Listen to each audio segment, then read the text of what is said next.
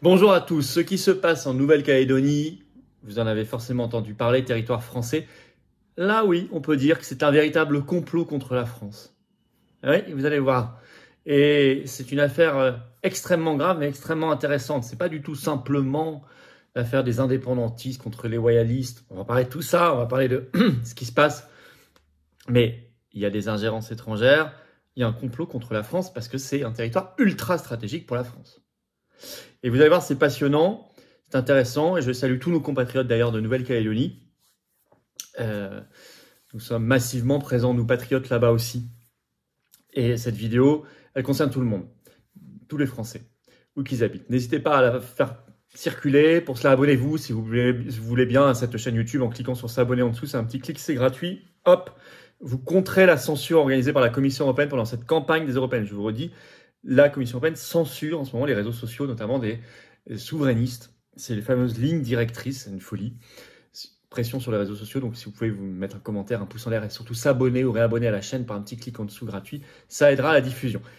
On se retrouve exceptionnellement à 20h pour notre direct de ce vendredi 17 mai. C'est à 20h et non pas 19h parce qu'il faut le temps que je rentre de Liège. Parce que c'est aujourd'hui, là, dans quelques heures, je serai au tribunal sur l'affaire des SMS avec Ursula von der Leyen, Brola, Pfizer, etc. et les autres plaignants. Je vous raconterai donc en exclusivité dans ce direct. Euh, je prendrai également, comme d'habitude, toute l'actualité et toutes vos questions. Euh, mais c'est à 20h. Et ramener du monde, ça va être un très gros direct, très spécial, ce vendredi 17 mai. Alors, nos, nos rendez-vous, vous le savez, les meetings de campagne pour la liste L'Europe, ça suffit, la liste de coalition des souverainistes pour le Frexit, les libertés, la paix que j'ai l'honneur de mener. On est en campagne active. On est en Moselle ce samedi 18 mai à Marly.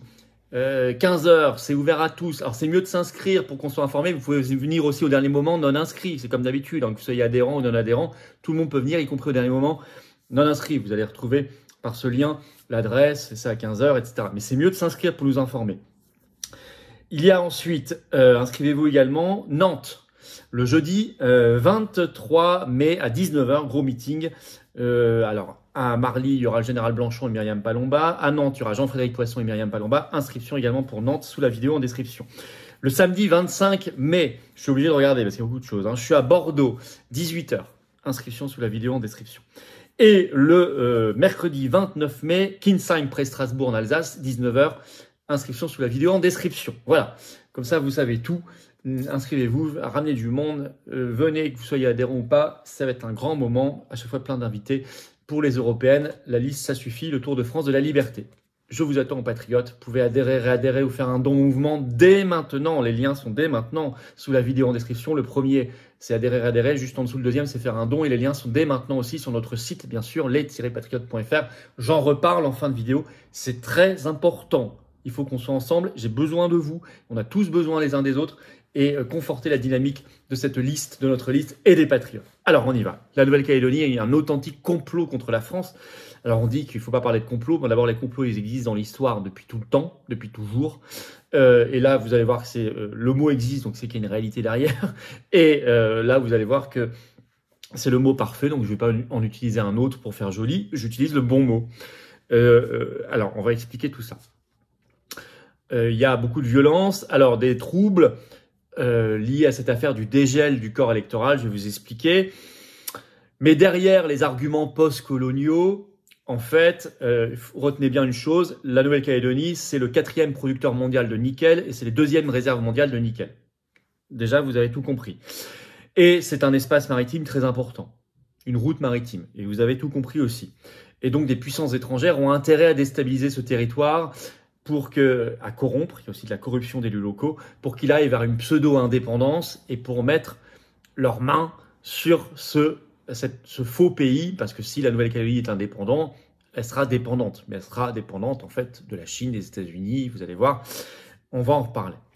D'abord la situation, euh, l'histoire du dégel du corps électoral. Que se passe-t-il? Il se trouve que dans la nuit du 14 au 15 mai, là, l'Assemblée nationale adopté par 351 voix contre 153 le dégel de ce corps électoral. Parce que euh, il faut savoir que depuis 1998, euh, tous les Français n'ont pas le droit de vote en Nouvelle-Calédonie, ce qui est un cas unique en France. Scandaleux. Il y a des Français qui n'ont pas le droit de vote pour les élections françaises. Et, et c'est beaucoup de monde parce que depuis, euh, en fait, c'était toutes les personnes arrivées depuis 1998 n'avaient pas le droit de vote. Tous les Français. Parce qu'il fallait, euh, ils considéraient qu'il fallait pas minorer le poids des Kanaks à l'intérieur euh, de la Nouvelle-Calédonie. Et là, donc, euh, cette situation n'est plus tenable et il faut que ça cesse. Il y a une obligation que ça cesse. Et donc, le dégel du corps électoral, c'est-à-dire qu'on va réinscrire des gens, des Français qui n'y sont pas, on va, leur redonner leur capacité de voter, a été voté donc par le Sénat le 2 avril dernier et donc, je vous ai dit, le 15 mai par l'Assemblée nationale. Mais ce ne sera pas un dégel complet, puisqu'il faudra quand même euh, vivre depuis au moins 10 ans sur l'île pour avoir le droit de voter. Donc c'est quand même un cas qui reste scandaleux parce que ça n'existe nulle part ailleurs. Nulle part ailleurs, on demande à des Français d'habiter depuis au moins 10 ans un endroit pour avoir le droit de vote. On parle de Français. Hein. Donc ce serait même, c'est un dégel, mais imparfait. Mais Macron a annoncé le 12 mai que même si le Sénat et l'Assemblée ont voté cette réforme, il ne convoquerait pas tout de suite le Congrès de Versailles. Il a dit qu'il ne le ferait pas dans la foulée pour valider l'entrée de cette réforme dans la Constitution, parce qu'il faut le faire. Il faut, faire rentrer cette réforme dans la Constitution pour qu'elle s'applique. Donc là, on est dans un autre deux. Ça a été voté, mais Macron ne le met pas tout de suite dans la Constitution. Or, là-bas, les indépendantistes ne veulent pas de ce dégel. Eux, ils n'en veulent pas. Et donc, sur ce prétexte-là, à partir du, depuis le 13 mai, ils ont déclenché des violences, des émeutes, sachant que c'est une île où il y a beaucoup d'armes qui circulent parce qu'il y a une grande tradition de tir et de chasse. Il y a énormément de chasseurs. Il y a beaucoup d'armes qui circulent, officiellement 60 000, en réalité plus de 100 000. Euh, ce sont les estimations. Alors on dit ce sont les indépendantistes contre les loyalistes. D'abord, si on regarde dans le détail, ce sont aussi beaucoup de bandits. C'est du grand, c'est du banditisme, la délinquance, euh, souvent teintée, il faut le dire, de racisme anti-blanc. Ça, il faut pas le nier qui existe et qui profite de ces événements. On est très très loin de ces belles histoires de peuples premiers, etc. Tout ça, ça c'est le décorum. La réalité, c'est que quand on regarde dans le détail, pour ceux qui connaissent bien l'affaire, c'est beaucoup plus de la délinquance. Ce qui ne veut pas dire que tous les Kanaks sont des délinquants, je précise, loin de là, bien sûr, s'il fallait préciser. Mais il, y a des délinquants. Alors, ça a créé des troubles très sévères. Hein. Là, au moment où j'enregistre la vidéo, il y a déjà eu cinq morts, dont deux gendarmes, deux gendarmes français. Euh, et des centaines de blessés. Or, la situation normalement politiquement est claire. Nos compatriotes là-bas ont voté par trois fois par référendum pour être français. Il y a eu un référendum en 2018, 56%, 56,7% ont voté contre l'indépendance, malgré le gel du corps électoral, sinon ça aurait été beaucoup plus. En 2020, 53,3% ont voté contre l'indépendance. Et en 2021, 96,5% ont voté contre l'indépendance. Mais les indépendantistes avaient demandé à boycotter le scrutin parce qu'ils voulaient le repousser, parce qu'ils savaient qu'ils allaient perdre. Ils étaient mauvais perdants. Donc, il y a eu trois référendums conformément aux accords de Nouméa. Donc, stop. Maintenant, il n'y a plus de sujet.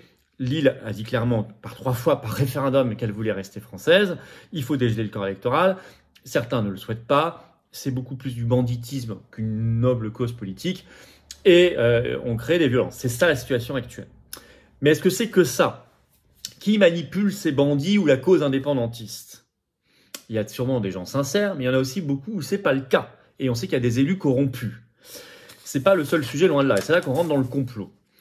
Euh, d'abord, moi-même j'ai reçu un témoignage de personnes qui vivent depuis 30 ans là-bas, qui me disent, je cite hein, le témoignage que j'ai reçu, le témoignage vérifié, les plus grandes entreprises sont détruites par des groupes d'émeutiers soutenus, encouragés par des dirigeants politiques locaux qui devraient être arrêtés pour incitation à trouble à l'ordre public.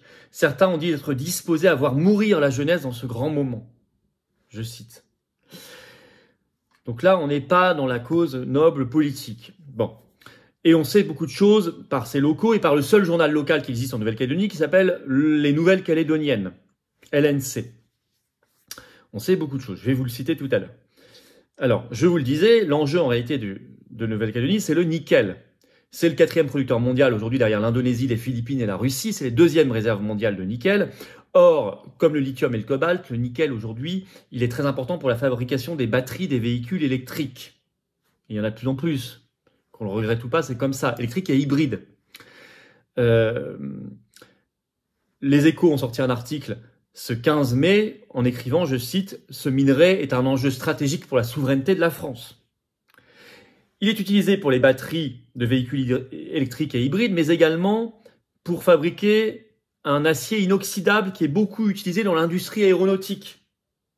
Donc c'est également très stratégique. Et là-bas, actuellement, il y a trois usines sur place qui créent des milliers d'emplois. Elles sont d'ailleurs en difficulté économique. Alors il y a des gens qui, il y a des puissances étrangères qui lorgnent là-dessus. Et vous avez Europe 1 qui a sorti une bonne enquête ce 15 mai, le titre Nouvelle-Calédonie, les Chinois en embuscade, le nickel en ligne de mire. Je vais vous citer un extrait d'Europe 1 parce que vous allez voir, c'est extrêmement clair. Alors que la Nouvelle-Calédonie est secouée par de violentes manifestations, un autre facteur de déstabilisation se dessine sur l'archipel, l'influence de la Chine. L'empire du milieu tisse sa toile dans le Pacifique et lorgne les réserves de nickel calédoniennes, quitte à soutenir les mouvements kanak indépendantistes. Et je cite en effet un autre extrait, toujours européen. Une Nouvelle-Calédonie indépendante tomberait de facto dans la sphère d'influence chinoise, comme avant elle le Vanuatu et d'autres territoires du Pacifique. C'est pas une première, ça s'est déjà produit. Raison pour laquelle les services de renseignement français assurent que la Chine soutient les mouvements indépendantistes kanak via notamment l'association de, l'amitié sino-calédonienne contrôlée et financée par le Parti communiste chinois, le PCC. Dans un rapport publié en 2021, je lis toujours, par l'Institut d'études stratégiques de l'école militaire qui dépend du ministère français de la Défense, les autorités françaises mettaient déjà en garde contre le fait qu'une nouvelle Calédonie indépendante serait de facto sous l'influence de la Chine. La Chine pour le nickel, mais aussi pour la situation géographique de la Nouvelle-Calédonie, parce que c'est une ouverture vers un espace maritime que la Chine ne contrôle pas encore. Mais vous allez voir, on parle beaucoup de la Chine, qu'il n'y a pas que la Chine. Alors, notamment quand Xi Jinping est venu, le président chinois, en visite d'État du 5 au 7 mai dernier à Paris, Macron, au lieu de convoquer Ursula von der Leyen comme il l'a fait, il aurait mieux fait d'avoir un tête-à-tête avec Xi Jinping, les yeux dans les yeux, et de lui parler en lui disant nous sommes au courant de ce que vous faites en Nouvelle-Calédonie et il faut que ça cesse parce que la France fait respecter sa souveraineté. Mais ça, il n'a pas le courage de lui dire. Il préfère être sous le patronage de euh, euh, Ursula, de sa, de sa, sa maman, hein, en, quelque sorte, sa patronne. Alors, il y a la Chine, il y a l'Azerbaïdjan. Euh, L'Azerbaïdjan, il y a eu des accords très bizarres signés récemment, avant même ces émeutes. Le Monde avait sorti un article toujours en ligne le 26 avril dernier, le titre Nouvelle-Calédonie, un accord parlementaire avec l'Azerbaïdjan suscite l'incompréhension. Je vous lis un petit extrait. Deux jours après le rappel de l'ambassadrice française en Azerbaïdjan pour consultation, L'élu indépendantiste Omera Neslin en Nouvelle-Calédonie a signé le 18 avril un mémorandum au nom du président du Congrès de la Nouvelle-Calédonie, scellant, donc qui est euh, euh, qui s'appelle Roche Vamitan, scellant la mise en place d'une coopération avec le Parlement d'Azerbaïdjan, une initiative non concertée qui suscite l'indignation et l'incompréhension sur l'archipel, car cet État pétro-gazier, situé au bord de la mer Caspienne, on est loin de la Nouvelle-Calédonie, est dirigé par l'autoritaire président Ilham Aliyev. Et je cite toujours Roche Vamitan, donc le président du Congrès euh, en Nouvelle-Calédonie, conteste les accusations de mélange des genres et d'instrumentalisation du Congrès, une pratique qui est selon lui plus courante, plus que courante dans les institutions de l'archipel. Il justifie ce rapprochement pour les besoins du combat indépendantiste de ne pas rester enfermé, de développer des réseaux à l'étranger, pour porter leur voix. Il ne, il ne cache d'ailleurs pas non plus le soutien financier de l'Azerbaïdjan et d'autres sources extérieures pour financer notamment les déplacements des délégations comme celle d'avril à Bakou. Financement par l'Azerbaïdjan, des mouvements indépendantistes. Et selon le journal local, donc je vous le citais, les Nouvelles Calédoniennes, LNC, l'article du 13 décembre dernier, je cite, l'Azerbaïdjan aurait mené une opération de déstabilisation pendant la visite du ministre français des armées Sébastien Lecornu, qui était venu en, du 4 au 7 décembre dernier en Nouvelle-Calédonie carrément une opération de déstabilisation. Je vais vous lire un extrait de cet article des nouvelles calédoniennes. Selon les informations, Bakou aurait envoyé une journaliste proche des services de renseignement azerbaïdjanais couvrir le déplacement du ministre des Armées du 4 au 7 décembre. Celle-ci aurait écrit des articles avec un angle anti-France pour le compte de l'agence d'information de l'État de l'Azerbaïdjan. Elle s'est fait passer pour un journaliste. Même Darmanin avait dénoncé le 30 avril dernier devant l'Assemblée nationale l'ingérence extrêmement néfaste, je cite, de l'Azerbaïdjan dans, dans ses liens avec la Nouvelle-Calédonie, suite à la signature de ce mémorandum dont je vous ai parlé.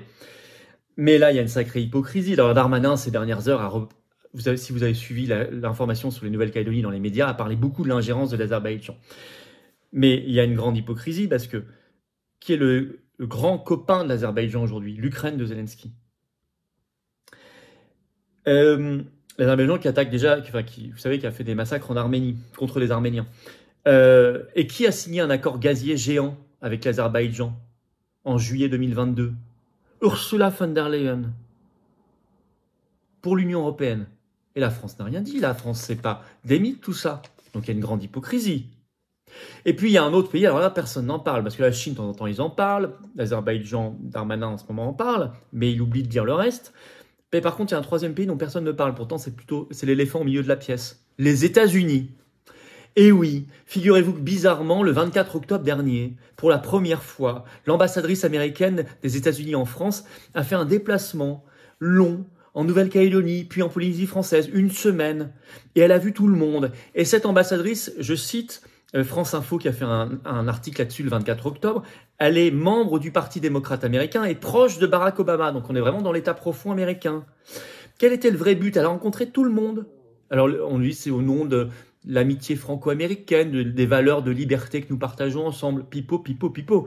Elle a fait de nombreuses rencontres. Je vais vous citer un extrait de France Info. À Nouméa, l'ambassadrice des États-Unis rencontre des représentants des forces armées, les FANC. Euh, elle s'entretient avec Louis Lefranc, le haut-commissaire de la République, rencontre politique prévue également avec les présidents des provinces, avec des élus locaux. On aimerait bien savoir ce qu'ils se sont dit vraiment. Donc il y a une énorme ingérence américaine. Et puis même, il y a des macronistes qui sont pas clairs. Tous les néo-calédoniens se sont demandé ce qu'était venu faire récemment Édouard Philippe, qui a fait un déplacement sans motif précis, long, du 21 au 26 mars dernier en Nouvelle-Calédonie. Il a rencontré beaucoup de monde. Et ça, on me l'a signalé. Et j'ai vérifié, effectivement, il a fait ce déplacement. Et la presse même a signalé qu'il n'y avait pas de motif très clair. Alors, en conclusion, on cherche des ingérences. On dit tout le temps, il y a les Russes, les punaises de lit sont russes. Bon, là, il y en a des vrais. Là, il y a un vrai complot contre la France. Des intérêts stratégiques français, énergétiques, euh, industriels, maritimes. Ben non, là, on veut pas, on veut pas voir le sujet. Euh, il faudrait creuser pourtant les liens de ces puissances étrangères avec les politiques locaux là-bas, des politiques nationaux. Il faudrait creuser tout ça. Alors, le gouvernement, qu'est-ce qu'il fait? L'état d'urgence là-bas et interdiction de TikTok. Alors on dira TikTok c'est chinois, donc euh, logique vu l'ingérence chinoise peut-être, mais il crée un précédent. C'est la première fois en France que sur un territoire français on interdit un réseau social, le gouvernement interdit un réseau social en raison de l'ordre public. Et moi je vous dis ce précédent-là il est dangereux, parce que si demain, y compris en métropole, vous avez des troubles, on dira on l'a fait une fois, on va le refaire. Et ce sera pas que TikTok. Et on vous coupera Facebook, X Twitter, surtout X Twitter, et, euh, tout le reste. Attention faut pas accepter ces précédents. Euh, les réactions politiques. Alors, LFI est indigne. Ils n'arrêtent pas de pousser là-bas. Ils veulent d'abord, eux, voir un grand combat politique. Alors, je vous ai dit que c'était très différent de ça. Et ils ont une vision ethniciste des choses. Alors là, c'est bizarre parce que ils refusent, soi-disant ici, la vision ethniciste, mais là-bas, ils ont une vision complètement ethniciste et contre les intérêts de la France. On peut pas, ils sont contre le dégel du corps électoral. On est français là-bas que si on est, on peut voter que si on est kanak. Donc ils ont une vision ethniciste de la citoyenneté. Ils n'ont pas une vision universelle. Alors qu'ils disent être des défenseurs de l'universalisme par ailleurs dans d'autres discours. Donc contradiction majeure. Mais on est habitué. Le RN, Le Monde a, sorti un papier ce 16 mai pour signaler un changement complet de doctrine du RN puisque Marine Le Pen, ça y est, demande un quatrième référendum. C'est honteux. C'est honteux. Avant, le RN défendait la Nouvelle-Calédonie française. Puis ça a été vérifié par trois référendums quand même. Elle demande un quatrième référendum. Donc c'est plus aussi clair. Alors ça me fait penser à l'Union européenne qui fait toujours revoter tant que ça va pas dans le bon sens. Donc nouvelle trahison, nouvel alignement systémique du RN. Sur le fond, pour que la France ne soit plus victime de complots contre elle et d'ingérences étrangères, qu'elle ne soit plus sans cesse déstabilisée, il faut être souverain Stop au grand largage de la France, que ce soit nos fleurons nationaux ou même maintenant nos territoires. Stop, se faire respecter, y compris nos territoires maritimes. Pour ça, il faut être un pays indépendant et souverain. C'est clair. Sorti de toutes les instances supranationales comme l'Union européenne et l'OTAN. C'est clair. C'est très cohérent. Et c'est exactement ce que défend la liste aux européennes du 9 juin, que j'ai l'honneur de conduire, la liste de coalition des souverainistes. L'Europe, ça suffit. Vive la France. Voilà, elle dit cette liste. Alors merci de partager cette vidéo, que vous soyez en Nouvelle-Calédonie ou ailleurs, elle concerne tout le monde. Pour ça, de vous abonner ou réabonner à cette chaîne YouTube par un petit clic en dessous sur s'abonner, ça va aider énormément à contrer la censure qui fait régner la Commission européenne sur cette campagne des européennes, avec le gouvernement macroniste en complice. Et puis, on se retrouve à 20h exceptionnellement, non pas 19h, ce vendredi 17 mai pour notre grand direct. Je serai juste de retour de Liège. C'est pour ça que je suis obligé de décaler l'horaire. Procès face à Ursula sur les SMS. Je vous raconterai tout en exclusivité. Je prendrai toutes vos questions et tout, le reste de l'actualité, bien sûr, en direct. Soyez là à 20h. Et merci de regarder tous les, tous les meetings qui sont en lien sous la vidéo en description. Euh, Moselle, ce samedi 18 mai, inscrivez-vous à 15h à Marly. Jeudi 23 mai, 19h Nantes, inscription. Samedi 25 mai à Bordeaux, 18h, inscription. Et Kinsheim en Alsace, 29 mai, 19h, inscription sous la vidéo en description. Il y a quatre donc liens pour s'inscrire pour les meetings. Inscrivez-vous, venez très nombreux, ça va être un grand moment pour les européennes. Et je vous attends, patriotes. Voilà, j'ai besoin de vous. Vous défendez la France, vous défendez la France libre, la France éternelle, notre humanité, notre liberté, notre souveraineté, la paix, nos belles valeurs. Alors euh, venez, venez, vous êtes le bienvenu. Vous aurez le niveau d'engagement que vous souhaitez, le degré d'engagement que vous souhaitez, mais vous êtes le bienvenu et vous serez mis en relation, si vous le souhaitez, avec des gens qui pensent comme vous près de chez vous, en métropole, outre-mer ou à l'étranger. On est présent partout. Adhérez ou réadhérez si vous n'êtes plus à jour. Faites un don au mouvement si vous voulez aider, vous voulez aider le mouvement à financer les européennes. On prend tout à charge. C'est le mouvement qui paye les 1 million d'euros des européennes et puis tout ce qu'on fait à côté, parce que nous, on n'arrête pas, y compris aujourd'hui, je suis à Liège sur la, justice. Tout ça, ça coûte. Contre Ursula von der Leyen, nos manifs et tout le reste, pouvez faire un don de soutien au mouvement. Adhérer, adhérer, c'est le premier lien sous la vidéo en description pour le faire. ce lien est également en commentaire épinglé, une petite fiche maintenant sur l'écran et dans quelques secondes un lien sur l'écran. Faire un don au mouvement, c'est le deuxième lien sous la vidéo en description, donc c'est facile. Et tous ces liens se retrouvent sur les-patriotes.fr, sinon facilement accessible. Et tout ça, c'est défiscalisé de vos impôts aux deux tiers ça fait baisser massivement vos impôts que d'adhérer, réadhérer ou donner. Massivement. Bravo aux donateurs, aux réadhérents, bienvenue aux nouveaux adhérents patriotes et vive la France.